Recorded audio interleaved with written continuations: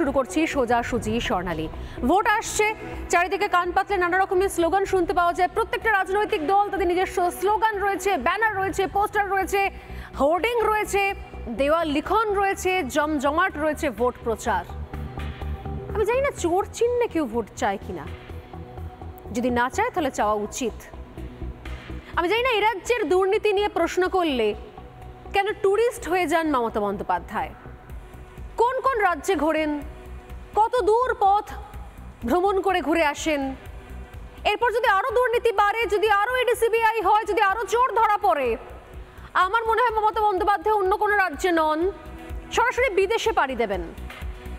হয়তো বলে বসবেন, কোন দিন এখানে এই এই দেশেও তো চুরি হয়েছে, ওই দেশেও তো চুরি হয়েছে, ওই দেশেও তো ধর্ষণ হয়েছে। খালি পশ্চিমবঙ্গ নিয়ে আলোচনা কেন? আসলে এটাই অদ্ভুত পরিহাস। এই মুহূর্তে বাংলার প্রতিটা রাস্তায় অলিতে গলিতে মহানগরের রাজপথ, সব জায়গায় প্রার্থীর নামের চেয়ে বেশি দেখতে পাওয়া যায় রাজ্য সরকারের প্রকল্পের নাম।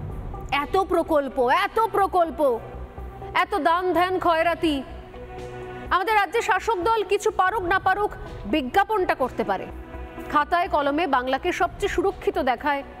প্রচুর মানুষের জন্য প্রচুর প্রকল্প দেখায়। কিন্তু বাস্তবটা কি? এই রাজ্যে কর্মসংস্থান থেকে স্বাস্থ্য, শিক্ষা, এমনকি মানুষের জীবনে নিরাপত্তার ছবিটা খাতায় কলমে এক আর বাস্তবে আলাদা।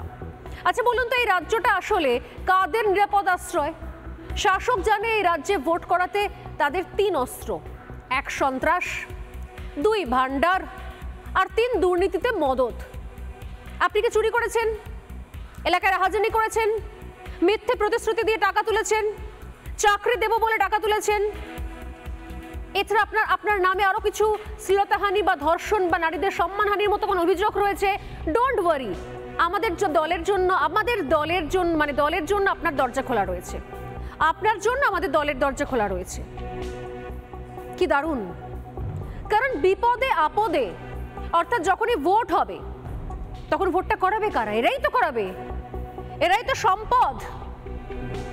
যাদেরকে আসলে আইনের ভাষায় আপদ বলা হয়, তারাই বাস্তবে হয়তো তৃণমূল কংগ্রেস শাসক দলের সম্পদ হয়ে দাঁড়িয়েছে।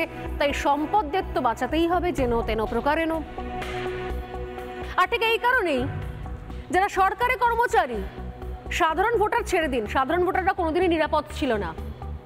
জায়গায় জায়গায় মৃত মানুষও স্বর্গ থেকে নেমে এসে ছাপ্পা ভোট মেরে দিয়ে যায়। অতএব সাধারণ ভোটারদের নিরাপত্তা, ভোট দিতে পারা, না পারা এই নিয়ে আলোচনাই করছি না। কিন্তু সরকারি কর্মচারীরা, তারাও বলছেন যে প্রপার নিরাপত্তা না থাকলে, কেন্দ্রীয় বাহিনী না থাকলে তারা ভোট করাতে যাবেন না। এর আগেও দেখেছি আমরা, একই কথা। শুনেছি, পঞ্চায়েত ভোটের সময়। যদিও সরকারি চাকরি মাস মাইনে দুম করে রাতারাতি তো চাকরি পাওয়া যায় না, বাধ্য হয়ে করতে হয়েছে, যেতে হয়েছে। এমনকি ডিউটিতে গিয়ে, ভোটের ডিউটি করাতে গিয়ে সরকারি কর্মচারীর দেহ উদ্ধার হয়েছে। তবু নিরাপত্তার কোনো আশ্বাস আসেনি। আচ্ছা আপনি বলুন তো, ভোটের দিন যে মানুষটা লাইনে দাঁড়িয়ে আছে ভোটের লাইনে, যে রাজ্য সরকারি কর্মী ভোটটা করাচ্ছেন, যাদের জন্য ক্ষমতা পেলেন, মমতা বন্দ্যোপাধ্যায় রাজ্যের শাসক দল ক্ষমতায় এলো, তিনি কি আগামী দিনে নিরাপদ? নিজেরাই বলছেন সরকারি কর্মচারীরা। তারা বলছেন তাদের জীবনে ডিএও নেই নিরাপত্তাও নেই। সেই গ্যারেন্টি কেউ দিতে পারছেন না। এই বাংলার ভোটের আগে হিংসা হয়, ভোটের পরে হিংসা হয়, ভোট চলাকালীন হিংসা হয়।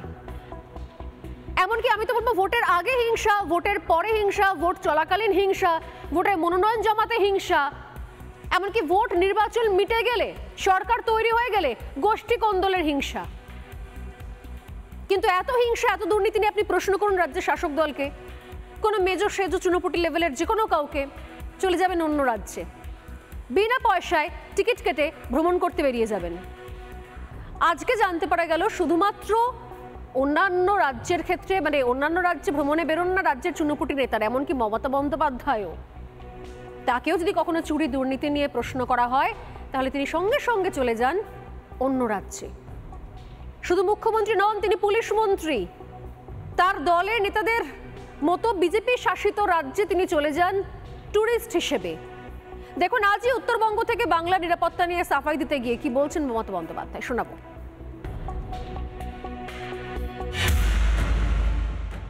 প্রকাশ করো উত্তরপ্রদেশের রিপোর্ট। প্রকাশ করো গুজরাটের রিপোর্ট।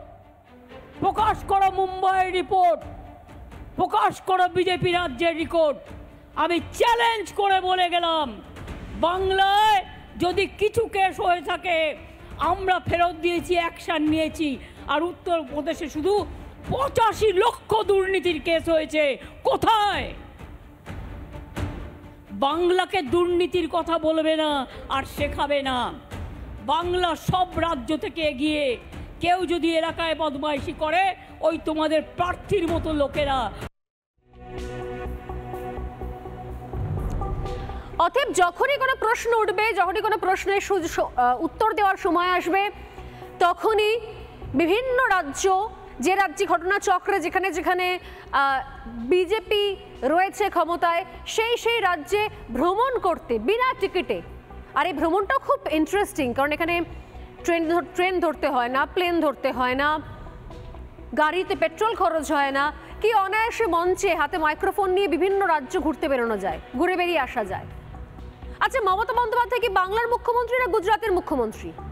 মমতা বন্দ্যোপাধ্যায় উত্তরপ্রদেশের মুখ্যমন্ত্রী নাকি পশ্চিমবঙ্গের মুখ্যমন্ত্রী? কোথাকার দলনেত্রী এই রাজ্যে আসলে ভোট হয় অন্য একটা ফর্মুলায়। বোধ হয়। অনুদান দাও, ভোট নাও। তোলা দাও, ভোট নাও। চাঁদা দাও, শান্তি পাও। অদ্ভুত স্ট্র্যাটেজি। এবং সেই স্ট্র্যাটেজির জন্যই বোধ হয় ভোটের আগে যখনই চুরি, দুর্নীতি নিয়ে প্রশ্ন ওঠে, তখন মুখ্যমন্ত্রী মমতা বন্দ্যোপাধ্যায়কে ঘুরে বেড়াতে হয়। বিভিন্ন রাজ্যে, বিভিন্ন জায়গায়। আমি বললাম এরপর হয়তো একটা দিন আসবে যখন দেশ ছাড়িয়ে বিদেশেও ভ্রমণ করতে চলে যাবেন উনি। আমার প্রশ্ন একটাই, যেখানে কি কোনো কম্পিটিশন চলছে? যদি বিজেপি শাসিত কোনো রাজ্যে চুরি, দুর্নীতি হয়েও থাকে যদি কংগ্রেস শাসিত কোনো রাজ্যে কিছু অন্যায় হয়ে থাকে, যদি বিজেপি শাসিত রাজ্যে কোনো অন্যায় কিছু হয়ে থাকে, যদি বাম শাসিত রাজ্যে কোনো অন্যায় কিছু হয়ে থাকে, তাহলে পশ্চিমবঙ্গে হতে হবে। এটা কি কম্পিটিশন চলছে? ভারত ভ্রমণের আগে কি একবারও ভাবেন না তৃণমূল কংগ্রেস সুপ্রিমো? কেন তুলনা করছি? তুলনা করলে ভালো কিছুর সঙ্গে তুলনা করা উচিত। শিক্ষার হারে কত এগিয়ে গেছে অন্য রাজ্য? অন্য জায়গা থেকে ইন্ডাস্ট্রি আসছে, কত এগিয়ে গেছে অন্য রাজ্য? নতুন কলকারখানা হচ্ছে, কত এগিয়ে গেল অন্য রাজ্য? তার তুলনায় আমরা কোথায়? তা না। কোথায় কোন কোন রাজ্যে, কোথায় কোথায়, কবে কবে কোন স্ক্যাম হয়েছে, দুর্নীতি হয়েছে, চুরি হয়েছে, ধর্ষণ হয়েছে, খুঁজে পেতে তার তালিকা নিয়ে কম্পিটিশন করব আমরা। আচ্ছা ওই রাজ্যে হয়েছে, তাহলে আমার রাজ্যে কেন বলছেন? আমার রাজ্য তো ওর থেকে একটু কম আছে, একটু এগিয়ে রয়েছে। চুরি, দুর্নীতি, ধর্ষণ, খুন, রাহাজানি কি কম্পিটিশনের বিষয়? এটা কি কোনো প্রতিযোগিতা? যেরকম প্রতিযোগিতা চলে কোথাও ভান্ডার নিয়ে। ভোটের আগে ভান্ডারে অনুদান বাড়ে আর মা বোনেদের নিরাপত্তা কমে। রাজ্যের মুখ্যমন্ত্রী ভোটে টাকা দেওয়া নিয়ে বিজেপিকে আক্রমণ করেন, আবার তিনি প্রকাশ্যে অন্য কথা বলেন। দেখা পাওয়া জলপাইগুড়িতে একই সময় মুখ্যমন্ত্রীর দুবার দুরকমের মন্তব্য দু মিনিটের আগে পরে যা যে সরকারের বিরুদ্ধে, যে শাসক দলের বিরুদ্ধে সবথেকে মারাত্মক অভিযোগ তোলাবাজি, কাটমানি, চুরি। যে শাসক দলের শিক্ষামন্ত্রীর গার্লফ্রেন্ডের বাড়ি থেকে কোটি কোটি টাকা সারা রাত ধরে গোনা হয়েছে। তারা ভোট এবং টাকা নিয়ে বিরোধীদের আক্রমণ করে। আবার পর মুহূর্তেই ভুলে যান। দিগ্ভ্রান্ত হয়ে যান। মনে পড়ে না দু মিনিট আগে কি বলেছি? আবার দু মিনিট পরে এসে অন্য কথা, সেই ভান্ডার অনুদান, অর্থাৎ আমরা বলি না, ভাত ছড়ালে কাকের অভাব হয় না, সেই ভাত ছড়ানোর রাজনীতি শুরু করে দেন। প্রশ্ন একটাই, এই টাকা বা ভান্ডার বা অনুদানের রাজনীতি করছে কে? এই ভাত ছড়ানোর রাজনীতি করছে কে? শুনুন, মমতা বন্দ্যোপাধ্যায়ের জলপাইগুড়ির সভামঞ্চ থেকে দু মিনিটের আগে পরে দু রকমের বক্তব্য। দেখুন টাকাও দেয় নাই। ভোটের সময় লুকিয়ে লুকিয়ে কিছু টাকা দেবে। মনে রাখবেন, ওটা ওদের টাকা নয়, পাপের টাকা, আপনার টাকা। টাকার পরিবর্তে ভোট দেবেন না, আপনাদের সম্মান সবচেয়ে বড়, নিজস্বতা সবচেয়ে বড়, একটা মা মহিলার শঙ্খধ্বনির আওয়াজ সবচেয়ে বড়, একটা ধামসা মাদলের আওয়াজ সবচেয়ে বড়, একটা গরিব মানুষের ক্ষমতা সবচেয়ে বড়। মা বোনেদের বলব, মা বোনেরা, আজকে আপনারা গর্বিত, মেয়েরা কন্যাশ্রী পাচ্ছে কেউ শিক্ষাশ্রী পাচ্ছে, কেউ সবুজ সাথী সাইকেল পাচ্ছে, কেউ স্মার্টফোন পাচ্ছে। ওরা বিশ্বজয় করবে আগামী দিন। গর্ব করুন মায়েরা স্মার্টফোনও আগামী বছর এগারো ক্লাস থেকে দেওয়া হবে। সব পাবেন, চিন্তা করার কোনো কারণ নেই। যখন অন্য প্রসঙ্গ আসে, যখন বিজেপির প্রসঙ্গ আসে, তখন তখন বক্তব্য হচ্ছে যে টাকা, ওই পাপের টাকা চাই না। আর যখন রাজ্যের প্রসঙ্গ আসে, তখন হচ্ছে, কি করে দিইনি? এই স্ত্রী, ওই স্ত্রী, ওই সাথী, এই সাথী, এই ভান্ডার সেই ভান্ডার অথচ সন্দেশখালি নিয়ে যদি প্রশ্ন করেন, চলে যাবেন ট্যুরিজমে উত্তরপ্রদেশ ঘুরে আসবেন, গুজরাট ঘুরে আসবেন। যদিও উত্তরপ্রদেশ বা গুজরাট ঘুরেও আরও একটা সন্দেশখালির সন্ধান আজ পর্যন্ত গোটা তৃণমূল কংগ্রেসের একজনও খুঁজে পাননি। অতএব শুধু কথার কথা। মঞ্চে উঠলে, হাতে মাইক্রোফোন নিয়ে কথার কথা। কম্পিটিশন করলে কম্পিটিশনের পাত্রপাত্রীগুলো কোথায়? আরও একটা সন্দেশখালি দেখাতে কেন পারছে না রাজ্যের শাসক দল? কোথায় যাচ্ছে ট্যুরিজম ঘুরে বেড়াতে তো খরচ লাগছে না। এটা তো স্বপ্নে, কল্পনায়, দিবা স্বপ্নে, এমনি ঘুরে আসা যায়। বিজেপি শাসিত সেই রাজ্যগুলো থেকে কেন ঘুরে আসতে পারছে না? আর একটা সন্দেশখালি খুঁজে বার করতে পারছেন না। আর একটা শিক্ষামন্ত্রী খুঁজে বার করতে পারছে না। আরও একটা রেশন দুর্নীতির আর এক মন্ত্রীর নাম মন্ত্রীকে খুঁজে বার করতে পারছে না। আরও একটা, এই এই এই শেখ শাহজাহানকে খুঁজে বার করতে পারছে না কেন? যদি প্রশ্ন করেন, উত্তর একটাই, ওই এক্স ওয়াই জেড বিভিন্ন বিভিন্ন রাজ্য হাতে করে দু তিনটে রাজ্যের নাম মুখস্থ করে রেখেছে রাশক, রাজ্যের শাসক দলের বড় সেজো মেজো বিভিন্ন নেতার, নেত্রীরা, সেই বুলি কপচাবে। আরে নিজের রাজ্যে কেন হয়নি?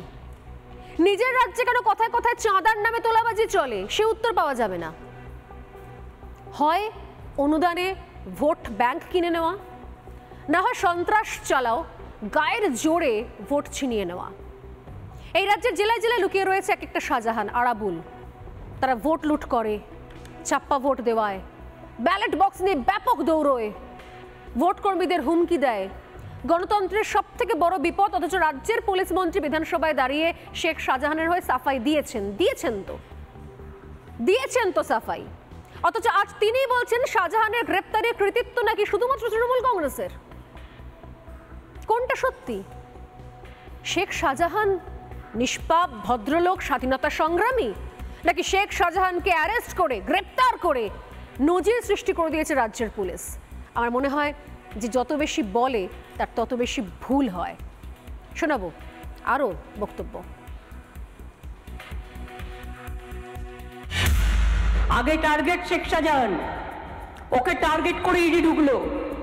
তারপরেই সবাইকে বার করে দিয়ে তারপরে ওখানে আদিবাসী মাইনরিটিদের মধ্যে ঝগড়া লাগিয়ে দিল। আগে তো আমাকে জানতে হবে ব্যাপারটা কি? নাকি কাকে কার নিয়ে পালিয়ে গেল বলে আমিও পালাতে শুরু করলাম? আমি তো আমাদের কর্মী আরাবুলকে অ্যারেস্ট করতে পারি। শাহজাহানকে অ্যারেস্ট করতে পারি। তাহলে তোমরা কেন গুন্ডাকে হোম মিনিস্টার রাখো? তোমরা কেন এখানে যে লোকটা পাঁচ বছর ধরে ইলেকশনে দাঁড়াল, তোমরা তাকে কাজ করতে দিলে না? সে চলে গেল। এখন আবার আর একজনকে নিয়ে এসছো। অর্থাৎ বৈশাখ মাসে একটা দেবে। জ্যৈষ্ঠী মাসে একটা দেবে, আষাঢ় মাসে একটা দেবে, শ্রাবণ মাসে একটা দেবে, আর পচা ভাদরে ডুবে মরবে। বৈশাখ, আষাঢ়, বৈশাখ, জ্যৈষ্ঠ, আষাঢ় শ্রাবণ, ভাদ্র শুনতে শুনতে মনে হয় যে আসছে আশা আসছে, আষাঢ় মাস, মন তাই ভাবছে কি হয় কি হয়। বিভিন্ন জিনিস যখন বক্তব্যগুলো শুনি, বিভিন্ন উদাহরণগুলো যখন জানা যায়, তখন মনে হয় যে সত্যি সত্যি, কাদের জন্য, কারা আপদ, কারা সম্পদ, গুলিয়ে তো খিচুড়ি। এই যে এত অনুদান, প্রায় প্রতিদিন আমি একই প্রশ্ন করি, এত অনুদান, এত উন্নয়ন, এত প্রকল্প, এত স্ত্রী, এত সাথী, এত ভান্ডার তারপরে তাহলে ভোট লুট করতে হয় কেন? খোদ সরকারি কর্মচারীরা যারা ভোটটা করাচ্ছেন, তারা বলছেন যে নিরাপত্তার অভাব রয়েছে। নিরাপত্তার দাবিতে রাজ্যের পুলিশে আস্থা রাখতে নারাজ তারা। তারা দাবি করছেন যে কেন্দ্রীয় বাহিনী না হলে ভোট করাতে যাবেন না। প্রতিবার প্রাণের ঝুঁকি নিয়ে যেতে হয় তাদের ভোট করাতে। এক এক সময় এক এক রকমের বিপদ ঘটে যায়। কিন্তু যদি আবারও ঘটে, এমনই অবস্থা। যদি সত্যি সত্যি দলের সম্পদ যারা, তারা উন্নয়নের জোয়ার এমন বাওয়াচ্ছে, তাহলে ভোট লুট করতে হচ্ছে কেন? সরকারি কর্মচারী তাদের এত ভয় ভয় সিটিয়ে থাকতে হচ্ছে কেন? এর যদি প্রশ্ন করা যায়, তাহলে উত্তর একটাই। ভিন রাজ্যে ভ্রমণ এবং ট্যুরিজম, যেটাতে সিদ্ধহস্ত রাজ্যের শাসক দল এই মুহূর্তে হয়ে গেছে। তবু আমি শোনাবো, সরকারি কর্মচারীরা কিসের দাবিতে তারা ভয় পাচ্ছেন? তারা চিন্তিত? তারা দাবি জানাচ্ছেন নিরাপত্তার। কিসের জন্য কোন জায়গা থেকে? সরকারি কর্মচারীদের বক্তব্য শোনাবো। আগামী যে পঞ্চায়েত নির্বাচন আসছে, সেখানে আমাদের ভোটকর্মী হিসাবে আমাদের সুনিশ্চিত নিরাপত্তার দাবিতে শুধু ভোটকর্মী নয়, আমরা যে বুথে যাই, সেখানে ভোটারদেরও যে সুনিশ্চিতভাবে তারা যাতে নিরাপত্তার সাথে এবং সাংবিধানিক যে উপায়ে যারা নিরপেক্ষভাবে তারা ভোট দিতে পারেন, সেই ব্যবস্থা সুনিশ্চিত যাতে করা হয়, তার জন্য আমরা প্রতিটি বুথে সেন্ট্রাল ফোর্স, কেন্দ্রীয় বাহিনীর দাবি করছি। আজকে আমাদের প্রতিনিধি দল নির্বাচন কমিশনের দপ্তরে গিয়েছিলেন। নিরাপত্তার দাবি সুনিশ্চিত করার জন্য। কেন্দ্রীয় বাহিনী দিয়ে পঞ্চায়েত ভোট করাতে হবে এবং নিরাপত্তা সুনিশ্চিত করতে হবে। নইলে কর্মচারীরা ভোট গ্রহণ প্রক্রিয়ায় অংশগ্রহণ করবে না।